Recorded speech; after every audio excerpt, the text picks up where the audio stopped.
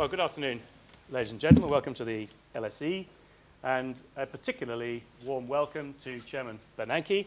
Um, back to the school. Uh, he spoke here last in 2004 when he was a governor, but it is, of course, the first time he's spoken here as chairman of the Fed. We are, as I think you all know, on quite a tight uh, timetable today. We need, do need to finish promptly at 2 o'clock. Uh, so by agreement uh, with the chairman, I am not going to go through a long introduction to his life going from uh, childhood onwards. Um, I, I will simply say a couple of things. First of all, that we were grateful to him for coming to deliver this lecture, which is in honor of Josiah Charles Stamp, who was a alumnus and governor of the school and who has endowed this uh, lecture series. And secondly, to say on a personal basis that I have been rather relieved in these uncertain times that we have someone with Chairman Bernanke's background in his position. Because, of course, he is the most distinguished economic historian of the Great Depression and has written at length about the policy mistakes made there and how to avoid them.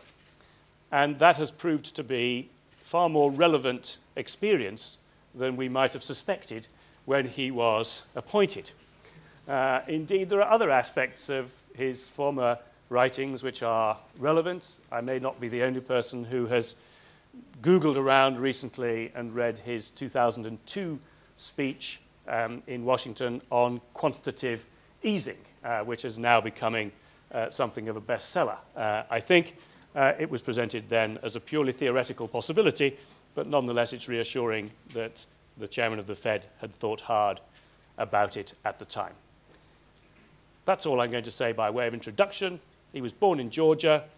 Just like the other bloke, he plays the saxophone, but he's not going to play that this afternoon. Chairman Bernanke, thank you.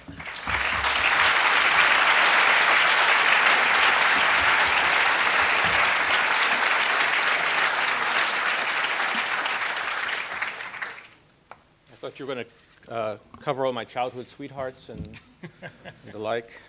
It's very nice to be back here. I've enjoyed, I've been to the LSE many times, always enjoyed it. I enjoyed the lecture a few years ago, and uh, I'm glad to have the opportunity to be here again today, albeit for only a short time. For almost a year and a half, the global financial system has been under extraordinary stress stress that is now decisively spilled over into the global economy more broadly. The proximate cause of the crisis was the turn of the housing cycle in the United States and the associated rise in delinquencies on subprime mortgages, which imposed substantial losses on many financial institutions and shook investor confidence in credit markets. However, although the subprime debacle triggered the crisis, the developments in the U.S. mortgage market were only one aspect of a much larger and more encompassing credit boom whose impact transcended the mortgage market to affect many other forms of credit. Aspects of this broader credit boom included widespread declines in underwriting standards, breakdowns in lending oversight by investors and rating agencies, increased reliance on complex and opaque credit instruments that prove fragile under stress, and unusually low compensation for risk taking. The abrupt end of the credit boom has had widespread financial and economic ramifications. Financial institutions have seen their capital depleted by losses and write-downs, and their balance sheets clogged by complex credit products and other illiquid assets of uncertain value. Rising credit risks and intense risk aversion have pushed credit spreads to unprecedented levels, and markets for securitized assets, except for mortgage securities with government guarantees, have shut down. Heightened systemic risks, falling asset values, and tightening credit have in turn taken a heavy toll on business and consumer confidence and precipitated a sharp slowing in global economic activity. The damage in terms of lost output, lost jobs, and lost wealth is already substantial. The global economy will recover, but the timing and the strength of the recovery are highly uncertain. Government policy responses around the world will be critical determinants of the speed and the vigor of the recovery. Today, I will offer some thoughts on current and prospective policy responses to the crisis in the United States, with particular emphasis on the responses by the Federal Reserve.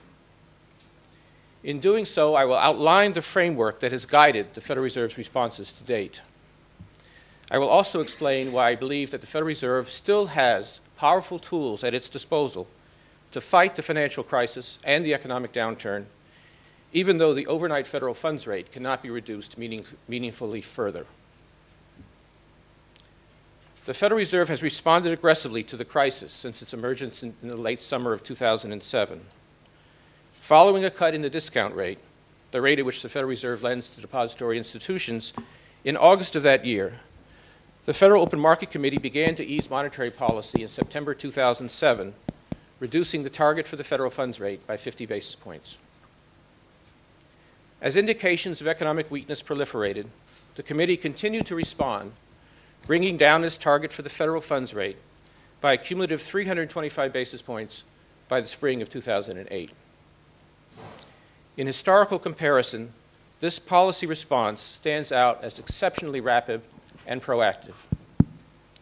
In taking these actions, we aim both to cushion the direct effects of the financial turbulence on the economy and to reduce the virulence of the so-called adverse feedback loop in which economic weakness and financial stress become mutually reinforcing. These policy actions help to support employment and incomes during the first year of the crisis. Unfortunately, the intensification of the financial turbulence last fall led to further deterioration in the economic outlook. The committee responded by cutting the target for the federal funds rate an additional 100 basis points last October, with half of that reduction coming as part of an unprecedented coordinated interest rate reduction by six major central banks on October the 8th. In December, the committee reduced this target further, setting a range of 0 to 25 basis points for the target federal funds rate. The committee's aggressive monetary easing was not without risks. During the early phase of the rate reductions, some observers expressed concern that these actions would stoke inflation. These concerns intensified as inflation reached high levels in mid 2008, mostly reflecting a surge in the prices of oil and other commodities. The committee takes its responsibility to ensure price stability very seriously, and throughout this period it remained closely attuned to developments in inflation and inflation expectations. However, the committee also maintained the view that the rapid rise in commodity prices in 2008 primarily reflected sharply increased demand for raw materials in emerging market economies, in combination with constraints in the supply of these materials, rather than general inflationary pressures. Committee members expected that at some point global economic growth would moderate, resulting in slower increases in the demand for commodities and a leveling out in their prices as reflected, for example, in futures markets. As you know, commodity prices peaked during the summer and rather than leveling out, have actually fallen dramatically with the weakening in global economic activity. As a consequence, overall inflation has already declined significantly and appears likely to moderate further.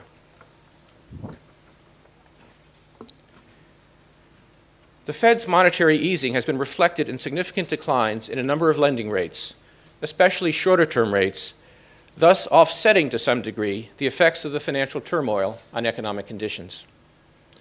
However, that offset has been incomplete, as widening credit spreads, more restrictive lending standards, and credit market dysfunction have worked against the monetary easing and led to tighter financial conditions overall. In particular, Many traditional funding sources for financial institutions and markets have dried up, and banks and other lenders have found their ability to securitize mortgages, auto loans, credit card receivables, student loans, and other forms of credit greatly curtailed. Thus, in addition to easing monetary policy, the Federal Reserve has worked to support the functioning of credit markets and to reduce financial strains by providing liquidity to the private sector.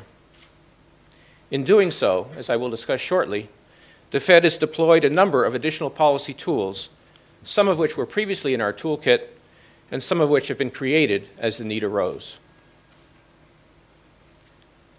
Although the federal funds rate is now close to zero, the Federal Reserve retains a number of policy tools that can be deployed against the crisis. One important policy tool is communication. Even if the overnight rate is close to zero, the committee should be able to influence longer term interest rates by informing the public's expectations about the future course of monetary policy. To illustrate, in its statement after its December meeting, the committee expressed the view that economic conditions are likely to warrant an unusually low federal funds rate for some time. To the extent that such statements cause the public to lengthen the horizon over, which they expect short term rates to be held at very low levels, they will exert downward pressure on longer term rates, thereby stimulating aggregate demand. It is important, however, that statements of this sort be expressed in conditional fashion. That is, that they link policy expectations to the evolving economic outlook. If the public were to perceive a statement about future policy to be unconditional, then long term rates might fail to respond in the desired fashion should the economic outlook change materially. Other than policies tied to current and expected values of the overnight uh, federal funds rate, the Federal Reserve has, and indeed has been actively using, a range of policy tools to provide direct support to credit markets and to the broader economy. As I will elaborate, I find it useful to divide these tools into three groups. Although these sets of tools differ in important respects, they have one aspect in common. They all make use of the asset side of the Federal Reserve's balance sheet. That is, each involves the Fed's authorities to extend credit or purchase securities. The first set of tools, which are closely tied to the central bank's traditional role as a lender of last resort, involved the provision of short term liquidity to sound financial institutions. Over the course of the crisis, the Fed has taken a number of extraordinary actions to ensure that financial institutions have adequate access to short term credit. These actions include creating new facilities for auctioning credit and making primary securities dealers, as well as banks, eligible to borrow at the Fed's discount window. For example, since August 2007, we have lowered the spread between the discount rate and the federal funds rate target from 100 basis points to 25 basis points, increased the term of discount window loans from overnight to 90 days, created the term auction facility, which auctions credit to depository institutions for terms of up to three months, put into place the term securities lending facility, which allows primary dealers to borrow Treasury securities from the Fed against less liquid collateral, and initiated the primary dealer credit facility as a source of liquidity for those firms, among other actions. Because interbank markets are global in scope, the Federal Reserve has also approved bilateral currency swap agreements with 14 foreign central banks. The swap facilities have allowed these central banks to acquire dollars from the Federal Reserve to lend to banks in their own jurisdictions, which has served to ease conditions in dollar funding markets globally. In most cases, the provision of this dollar liquidity abroad was conducted in tight coordination with the Federal Reserve's own funding auctions. Importantly, the provision of credit to financial institutions exposes the Federal Reserve to only minimal credit risk the loans that we make to banks and primary dealers through our various facilities are generally over collateralized and made with recourse to the borrowing firm. The Federal Reserve has never suffered any losses in the course of its normal lending to banks and now to primary dealers. In the case of currency swaps, the foreign central banks are responsible for repayment, not the financial institutions that ultimately receive the funds. Moreover, as further security, the Federal Reserve receives an equivalent amount of foreign currency in exchange for the dollars that it provides to foreign central banks. Liquidity provision by the central bank reduces systemic risk by assuring market participants that should short-term investors begin to lose confidence, financial institutions will be able to meet the resulting demands for cash without resorting to potentially destabilizing fire sales of assets. Moreover, backstopping the liquidity needs of financial institutions reduces funding stresses, and all else equal, should increase the willingness of those institutions to lend or to make markets. On the other hand, the provision of ample liquidity to banks and primary dealers is no panacea.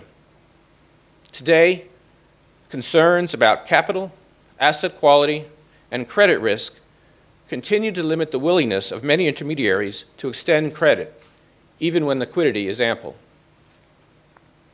Moreover, providing liquidity to financial institutions does not address directly instability or declining credit availability in critical non-bank markets, such as the commercial paper market or the market for asset-backed securities, both of which normally play major roles in the extension of credit in the United States.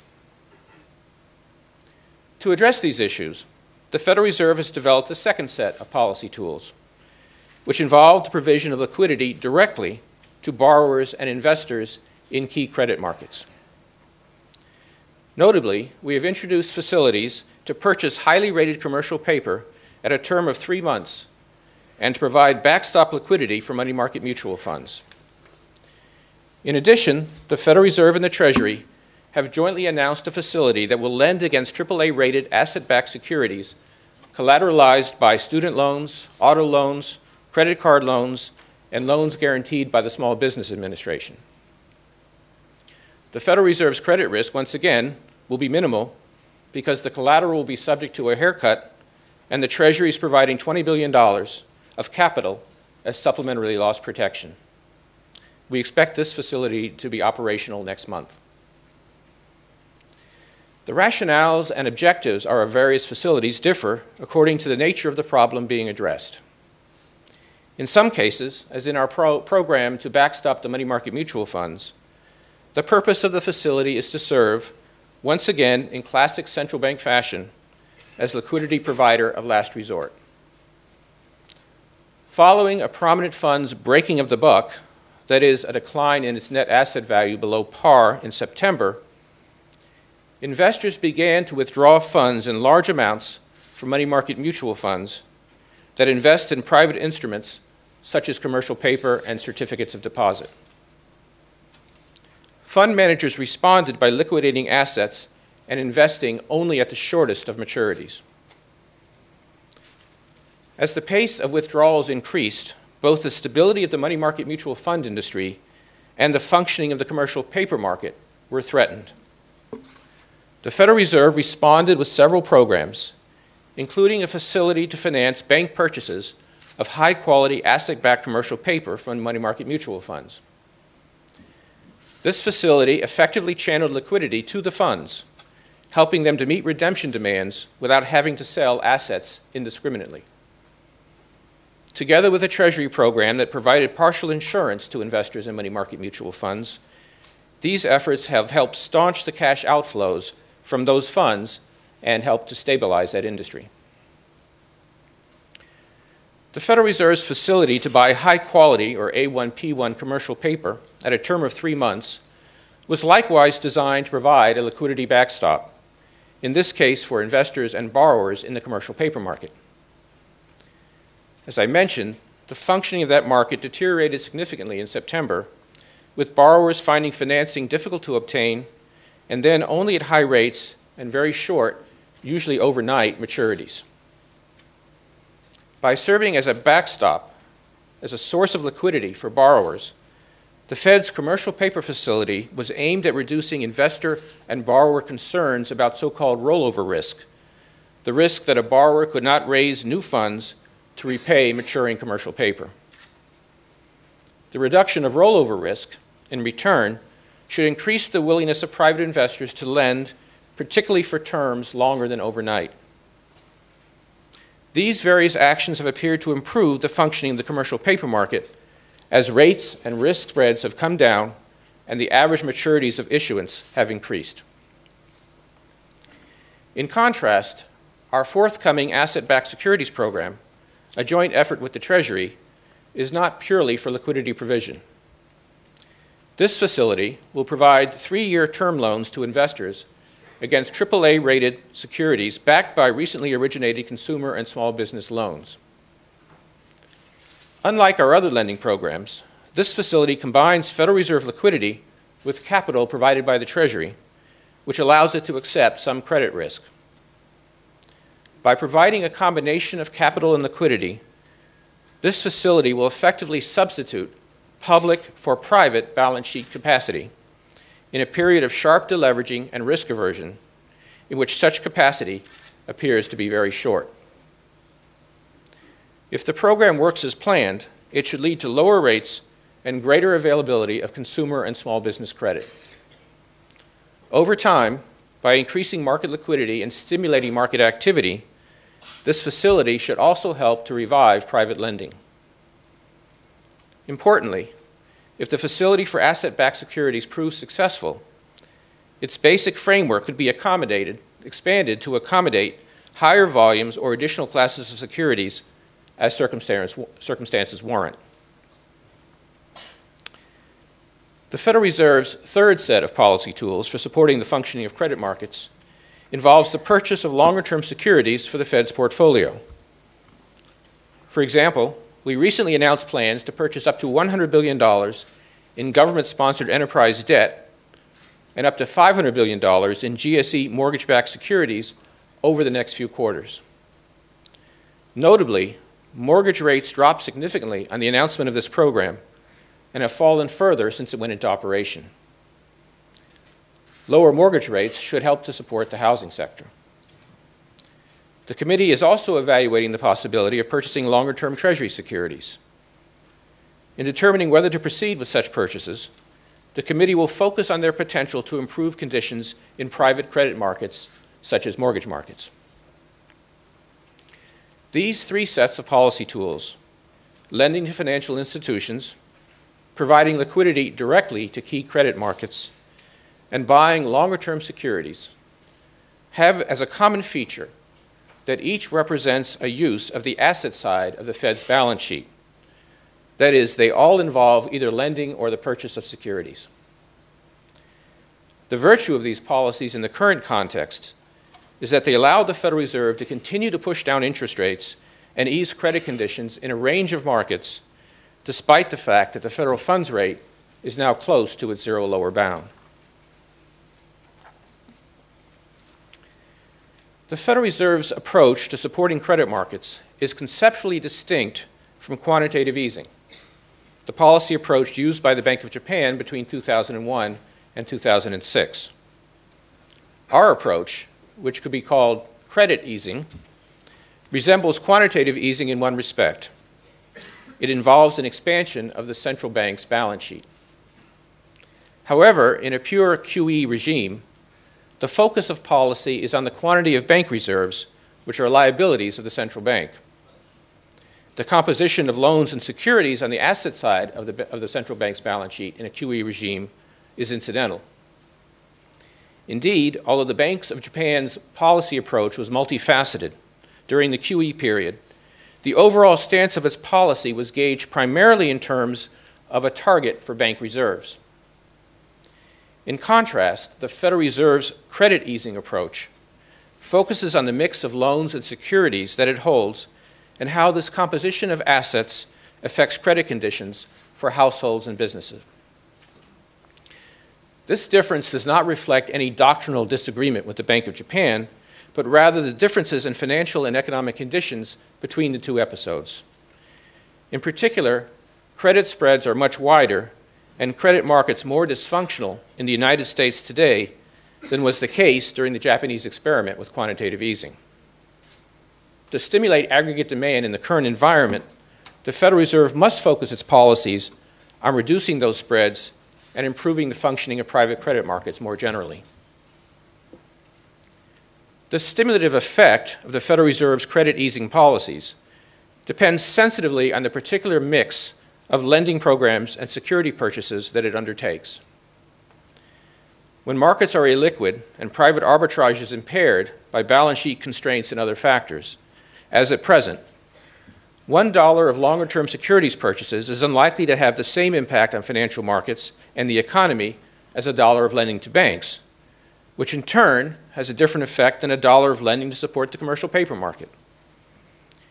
Because various types of lending have heterogeneous effects, the stance of Fed policy in the current regime, in contrast to a quantitative easing regime, is not easily summarized by a single number, such as the quantity of excess reserves or the size of the monetary base. In addition, the usage of Federal Reserve credit is determined in large part by borrower needs and thus will tend to increase when market conditions worsen and to decline when market conditions improve. Setting a target for the size of the Federal Reserve's balance sheet, as in a quantitative easing regime, could thus have the perverse effect of forcing the Fed to tighten the terms and availability of its lending at just the time when market conditions are worsening and vice versa. The lack of a simple summary measure or policy target poses an important communications challenge to the Federal Reserve. To minimize market uncertainty and achieve the maximum effect of its policies, the Federal Reserve is committed to providing the public as much information as possible about the use of its balance sheet, plans regarding future uses of its balance sheet, and the criteria on which the relevant decisions are based. Some observers have expressed a concern that by expanding its balance sheet, the Federal Reserve is effectively printing money, an action that will ultimately be inflationary. The Fed's lending activities have indeed resulted in a large increase in the excess reserves held by banks. Bank reserves, together with currency, make up the, the narrowest definition of money, the monetary base. And as you would expect, this measure of money has risen significantly as the Fed's balance sheet has expanded.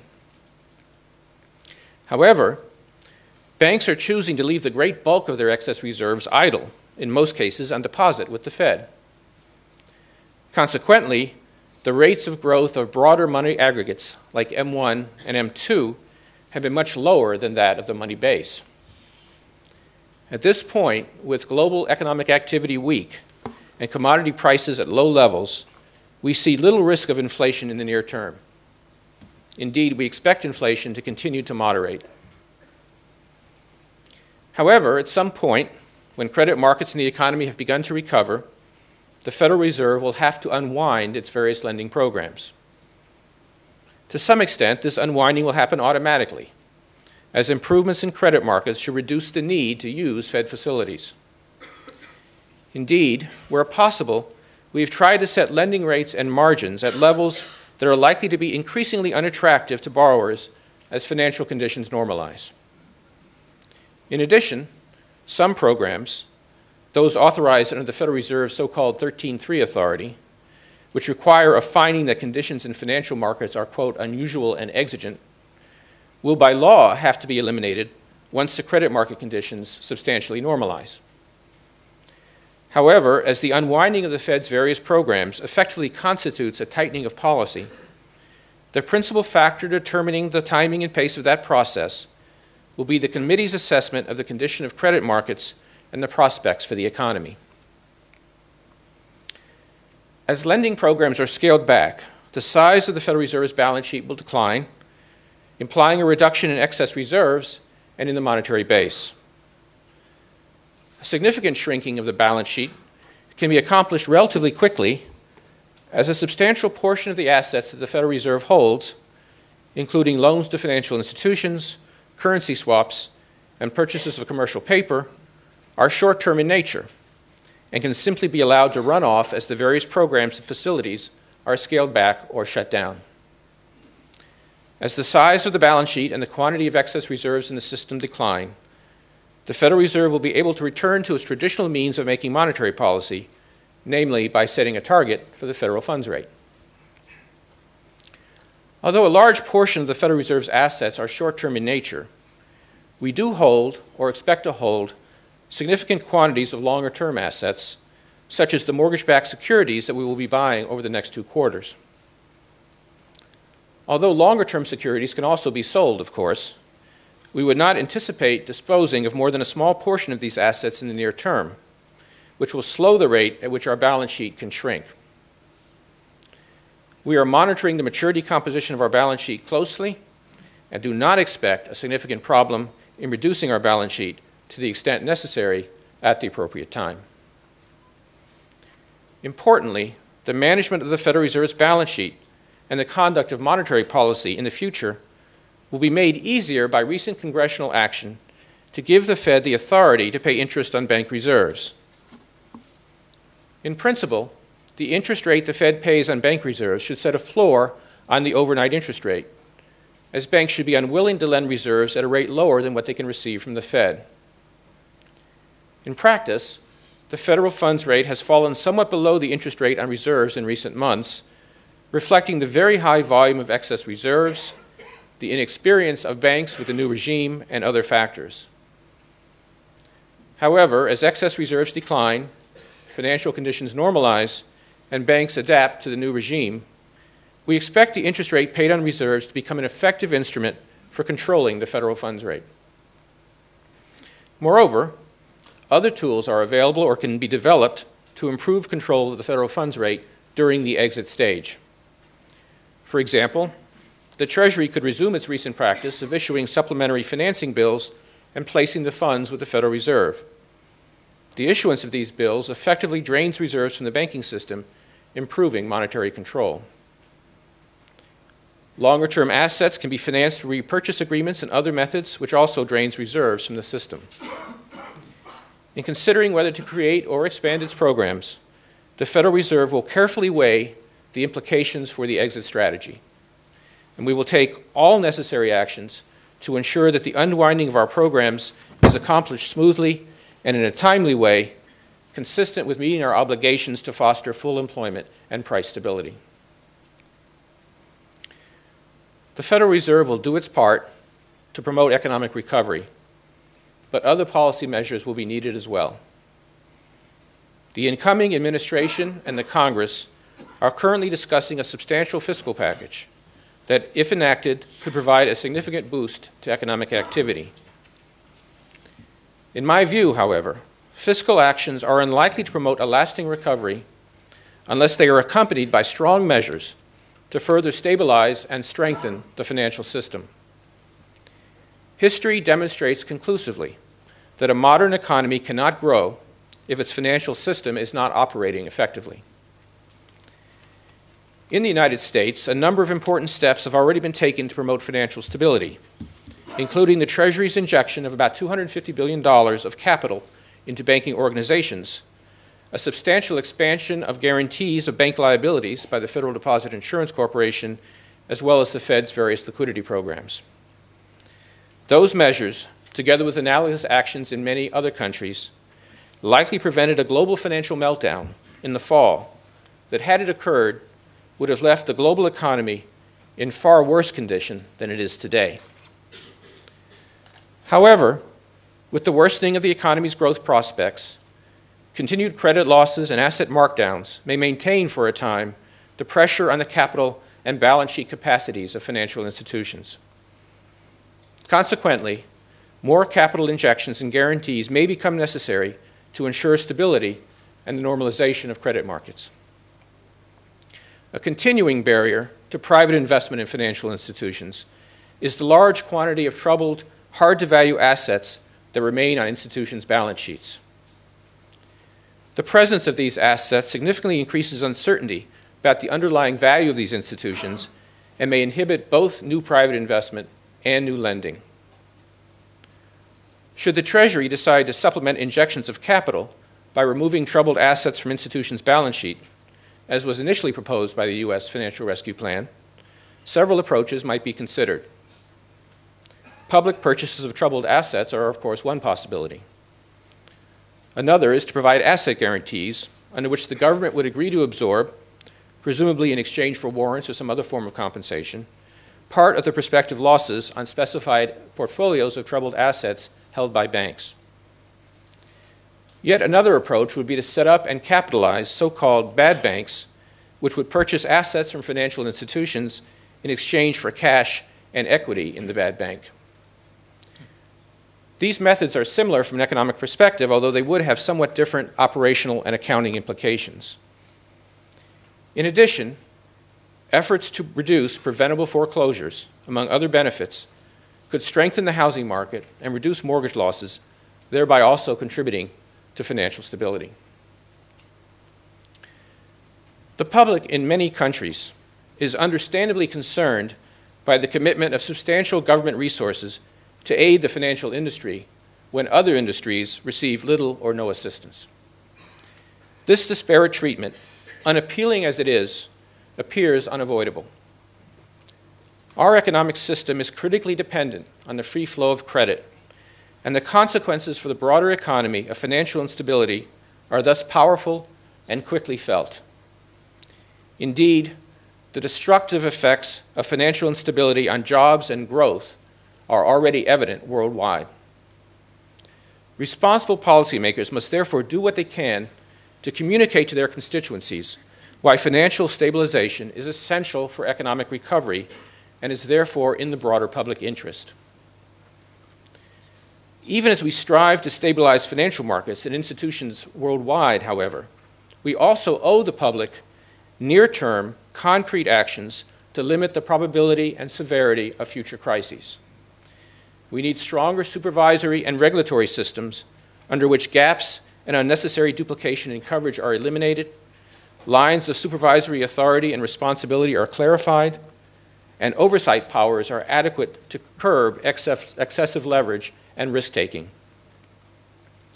In light of the multinational character of the largest financial firms and the globalization of financial markets more generally, regulatory oversight should be coordinated internationally to the greatest extent possible. We must continue our ongoing work to strengthen the financial infrastructure. For example, by encouraging the migration of trading and credit default swaps and other derivatives to central counterparties and to exchanges. The supervisory authority should develop the capacity for increased surveillance of the financial system as a whole, rather than focusing excessively on the condition of individual firms in isolation. And we should revisit capital regulations, accounting rules, and other aspects of the regulatory regime to ensure that they do not induce excessive procyclicality in the financial system and in the economy. As we proceed with regulatory reform, however, we must take care not to take actions that forfeit the economic benefits of financial innovation and market discipline. Particularly pressing is the need to address the problem of financial institutions that are deemed too big to fail. It is unacceptable that large firms that the government is now compelled to support to preserve financial stability were among the greatest risk takers during the boom period. The existence of too big to fail firms also violates the presumption of a level playing field among financial institutions.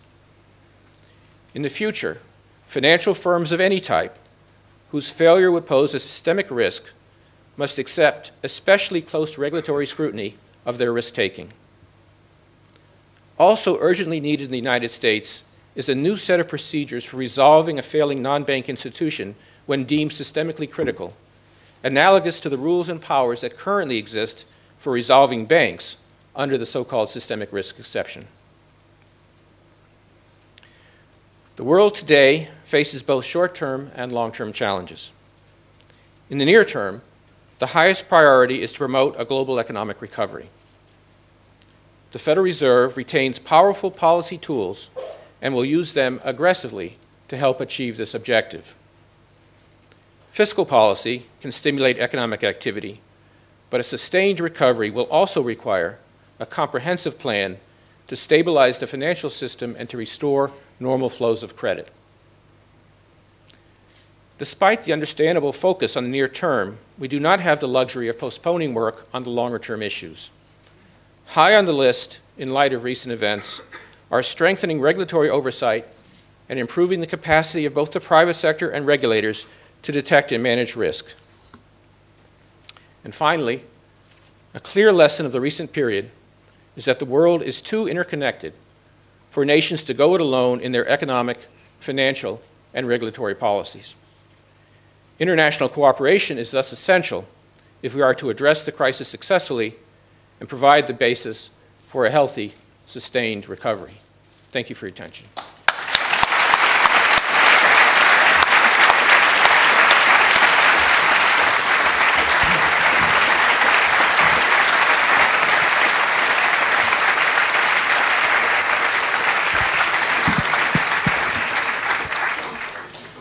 You very much. Well, an enormous amount of um, food for thought, and we have um, 20 minutes to eat it.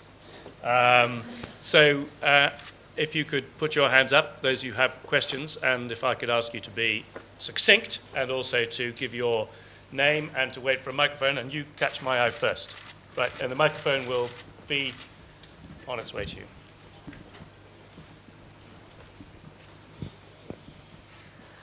Do you still believe, a very simple question, do you still believe in the inherent goodness of Wall Street entrepreneurs, considering recent scandals?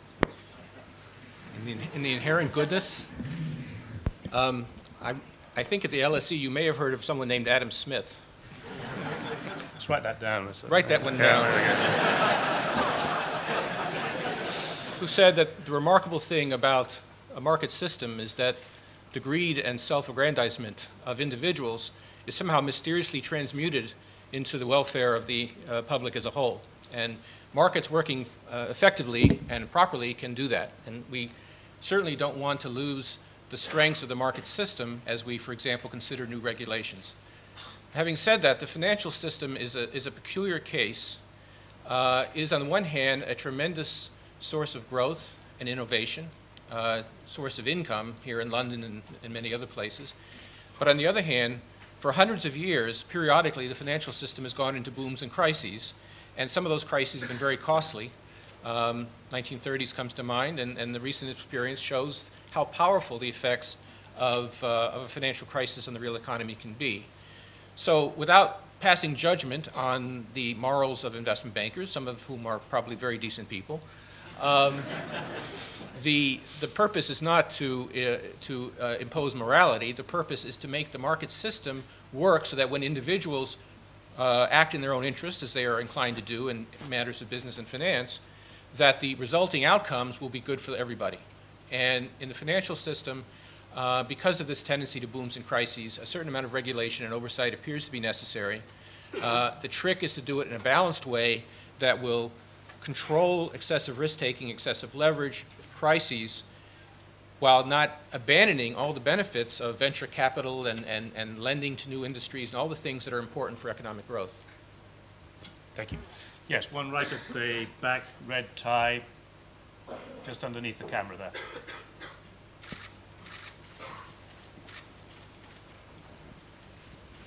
Thank you. That's an Adam Smith tie, by the way, from the Adam Smith Foundation.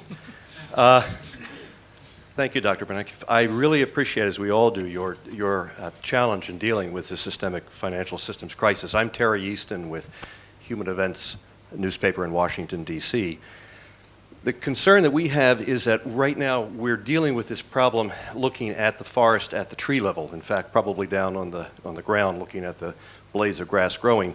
And you seem to be dealing with it as all people are in all similar institutions worldwide as a, a, classic Keynesian approach to solve the problem. Of course, here at the London School of Economics, there is some knowledge of another alternative approach to the problem, and known as, of course, the Austrian school, uh, von Mises, Hayek, Rothbard, et cetera, have suggested an alternative to this 90-year edifice that we've built, uh, which now is coming back to, uh, to root. And I wonder if it's possible, realizing that your position is the head of the Fed, can you talk a little bit about the the underlying system that has now existed for 90 years, are we going the right way? Can we fix it? Should we look at these alternatives to the problem? I'd be interested in your philosophical comments. Well, that's, the question is related to the, to the former one. It has to do with the value and benefits of markets. And um, I think economists uh, are often accused of being market fundamentalists. I think, in fact, economists have done a better job than anybody of figuring out what markets can do well and what they don't do so well uh, when there are problems of information or other things. Um, and economists have also pointed out that uh, government interventions are not benign, perfectly executed interventions, but are also executed by individuals with interests and so on. This is a public policy or uh, uh, school. Um, and so the balance between markets and, uh, and, and, the government is a, is a delicate one. Um, in particular, uh, those of us who are economists, and I think that counts almost everybody in the room, um, are always amazed by the uh, lack of understanding in the general public about the power of markets And in particular, uh, the Austrian school emphasized the ability of markets to aggregate information and, and, and to provide, in, between information and incentives, to provide outcomes which a top-down government approach uh, can't, uh, can't provide. Um, so as an economist, I have uh, a lot of uh, faith in markets. I, I don't think, for example, I would completely disagree with the view that what's happened in the last year and a half is a crisis of capitalism per se. I mean, after all, capitalism has done an awful lot uh, for growth and living standards for a long time. Uh, but rather, it's a crisis that arises from a particular set of situations and conditions that we have faced in the last uh, couple of years. In particular, um, as I indicated before, uh, we, because of the tendency of financial systems to boom and bust, which is a very long-standing problem, one that was recognized by, by uh, virtually every economist uh, who's, who's studied uh, these issues, and because of the effects of that on the economy, um, there's been uh, a long-standing tendency to try to find a regulatory balance that reduces the, the cost of those booms and busts without costing us the benefits of the, the market forces and the innovation and the information aggregation and so on. It's a very difficult, difficult balance. I think, uh, you know, what we've learned in this case is not necessarily that we need to have a lot more regulation, but we need to think through what went wrong with, when I, when I describe, when I say the financial system, I mean private sector plus the regulatory overlay. That whole complex didn't perform well in this case, and we need to think very hard about, about uh, how to fix it. Now, as I try to say in my speech, we have both short-term and long-term considerations. Um, you know, I, I think it's very important for us to try to put out the fire. I think it's a good, good advice in general that if there's a fire burning, you try to put it out first, and then you think about the fire code. So, you know, you don't try to do it all at once necessarily. Uh, we, need to, we need to figure out how to solve this problem, how to stop the, uh, the costs that are being borne all over the world. Um, but going forward, we have to look at the fire code. We have to think about what is the right balance of regulation, markets that will give us a, uh, a po powerful, innovative uh, financial system, but, but, but uh, one that will be safer to use in some sense. Thank you. Uh, yes, Hugh Pym there. The, um, that's it, stripy tie. Sorry, it's the man with the stripy tie there. Yeah. Good. You'll have to go and get a stripy tie if you want to ask a question. I'll, I'll lend it to you. You can have it this. next, okay? Uh, Hugh Pym, BBC News. What advice would you have for the British authorities on issues like boosting the money supply and other measures to get credit flowing around the economy? Well, I've had um, uh, numerous occasions to, uh, to talk to um, British authorities. I met today with the Prime Minister, with the uh, Finance Minister, and the Central Bank Governor. Um, I've known Mervyn King in particular for a very long time. Uh, 25 years ago, we were assistant professors sharing an office in, at MIT, and we got to talking about a few things, and the conversation's been going on ever since. Um, so I, I, have been, uh, I have been trying to, um, uh, to be in touch and discuss these issues. Um, I want to be very careful because, uh, on the one hand, there are obviously some commonalities. Uh, the U.S. and the U.K. are facing uh, tremendous financial stress. Um, that financial stress is having impact on the real economy and employment and growth, um, and we all want to, to address that. Um, on the other hand, the, the specifics of our institutional structures, the, the, set of markets, for example, the United States relies more on commercial paper markets than the UK. We have um, uh, these uh, government-sponsored enterprises which are critical to the housing system. Um, uh, as a larger country, we, uh, we have less of the problem that our major banks are spread all over the world with only relatively a minority of their assets actually within the country. And so there's a whole different set of circumstances.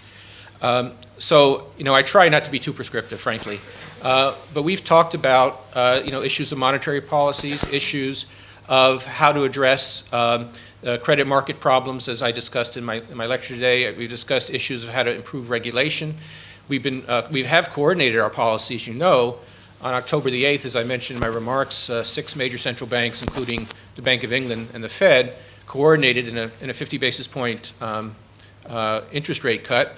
Um, and moreover, we have been extensively involved in these currency swaps, as I mentioned, whereby uh, we provide dollars in exchange for the foreign currency to the Bank of England or the European Central Bank to lend money to the um, uh, to the domestic uh, uh, institutions. Um, so I think, you know, I, I, don't think I need to give advice. I think we have broadly the same set of issues, somewhat different institutional features. I think we're all looking at monetary policy. We're thinking about what happens when monetary policy is exhausted or there are credit market problems that monetary policy can't handle. We're thinking about uh, fiscal policy. We're thinking about um, stabilizing the financial system, which is a difficult problem, particularly given the uh, special features that we're seeing, like uh, complex uh, securities and so on. And we're all thinking about, uh, about regulatory reform. And in particular, of course, uh, the, the, UK is, the, uh, is hosting the G20 and the G20 leaders meetings coming up this spring, where there will be discussions about regulatory change and how that can be done in a way that will be, in particular, as I mentioned in my remarks, not just effective, but internationally coordinated. And I think that's very, very important. So we have lots of conversations, we have lots of things in common, um, and we'll continue that dialogue. Seeing Gordon Brown will have allowed you to thank him for saving the world, um, which uh, you don't need to comment on that, not even smile. uh, the one in front, yes, the man with the. Uh, uh, name is Felix Posen. Could you comment on the issue of the Fannie Mae and Freddie Mac giving mortgage rates of over 100% of the value of a home. Wasn't that just an extraordinary matter which was really in governmental hands as those are governmental organizations and did an untold amount of damage? Well, um, the uh, the Federal Reserve, on, you know, a lot of these, a lot of the things that have happened, certainly I didn't predict, and many other people didn't predict. But, but one thing that was forecast was problems with Fannie and Freddie.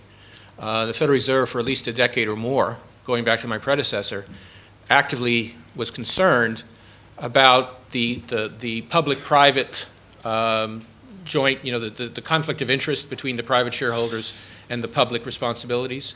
We were particularly concerned, and I think this was the real issue. I, your, your question about the quality of mortgages, I don't think that Fannie and Freddie's mortgages were worse than average. I think they were probably better than average because they were required to, um, to buy securities and buy mortgages that had the equivalent of uh, 80, of 20, 80, 80, 20, 20%, 80% loan to value, 20% down payment. Um, so when they, when they bought uh, subprime mortgages, they were usually packaged in larger securities that supposedly had more credit guarantees or supports than the underlying, than some of the underlying mortgages did.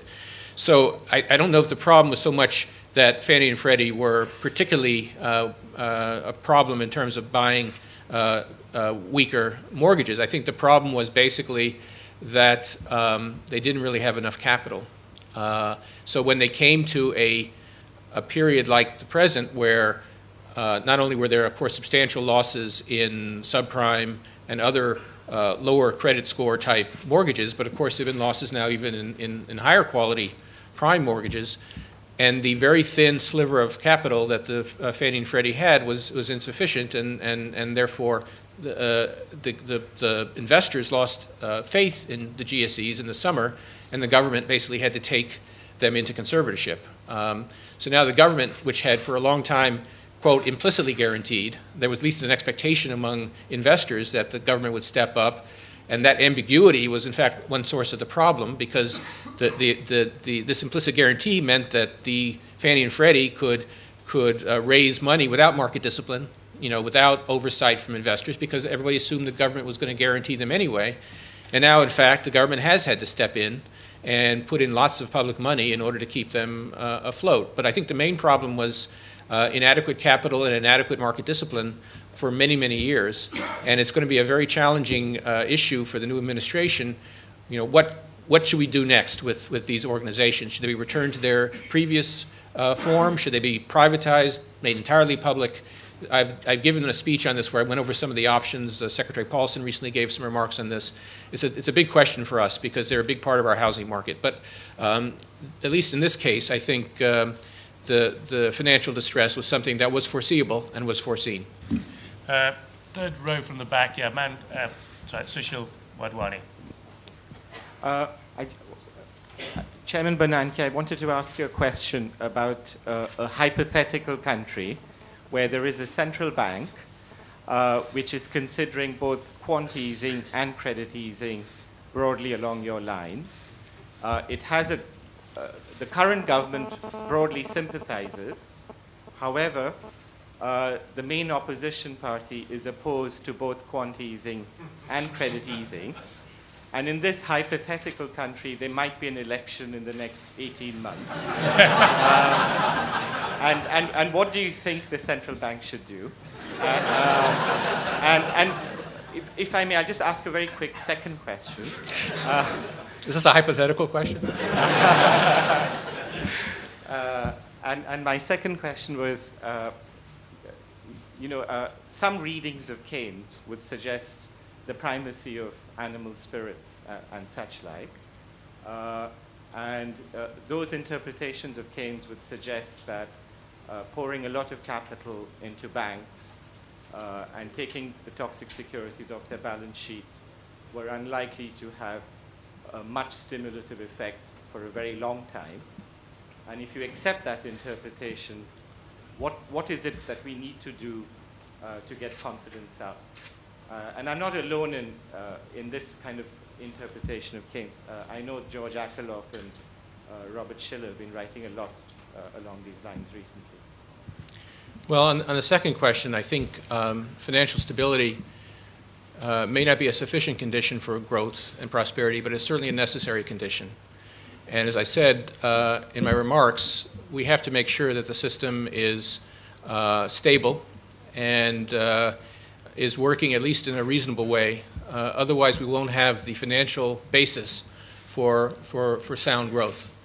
Now, if you, if you believe the Keynesian perspective as you just described it, um, I guess there's two responses. One is that confidence is very important, and so you have to, you know, there's a certain amount of psychology here. You have to diagnose what appears to be a, a, a crisis of confidence around the world. Where did it come from? to the extent it's related to financial instability and all the uncertainties in financial markets, then stabilizing that situation, bringing investors back to the stock market, to capital markets in general, might be a boost to confidence, might be helpful in that respect. The other possibility, of course, which I guess is implicit in your question and in the Keynesian perspective, would be to use government spending or government tax cuts, uh, fiscal policy, which is something that many countries, of course, are, are contemplating right now. On the other question, I'm, I, so hypothetical, I was difficult to, uh, to answer, other than to say that, that a hypothetical central bank that is hypothetically independent uh, would make monetary policy based on its legitimate powers and on its assessment of the economy as independently as possible from the political process. We'll take one last question, and a uh, woman there with uh, specs. Yeah. There it is. Hi, yes, I'm wondering how long it's going to take um, with these policy responses for middle America to stop seeing the job cuts or if it's going to get worse before it gets better. Stop seeing what? The job, the job, job losses cuts. and the job cuts. Well, it's difficult to say, frankly. The, uh, you know, the job losses have accelerated. Um, uh, it was a very 2008 was a very bad year. We had uh, something like 2.8 million jobs lost, which is about two percent of all employment and it was accelerating. In the, in the, last two months of the year, we had more than a million jobs lost. So we're currently in a very bad uh, uh, stage of the uh, contraction as far as employment is concerned, and I would expect to see continued weakness in the first quarter. Um, as we look forward, um, uh, there's a lot of uncertainty, but I'm, I'm, hopeful that you know later in 2009. Uh, depending on factors, particularly including financial and credit markets, we should begin to see some stabilization in the economy. Um, uh, if not rapid growth, at least a stabilization uh, and, a, and, a, and, a, stop to the bleeding in a sense. Uh, it takes a while, though, for labor markets to recover. We've seen in the last uh, two recessions in 1991 and in 2001 that even after the economy began to grow, there was a, it took some time before jobs came back. But I think the first, uh, the first order of business is to, is to arrest the decline, to stabilize the system, um, that will uh, attenuate what is, I think, very much a crisis of confidence on a global level, and that will, I hope, at least stop, you know, subsequent losses. It'll take some time before we're back to where we started from. Thank you. Chairman, we really appreciate you coming to our um, hypothetical school um, in this uh, hypothetical country um, in which we live. Um, it's great that you do make time to re-engage with an academic audience at a time when the debates in academia but also in policy circles are so lively. I'm sure there's a lot for both sides to contribute to each other. So we're enormously grateful to you for coming. Could you possibly uh, stay seated just for two seconds uh, to allow the chairman to make his, good his escape, um, but also thank him. And my plane. Thank you.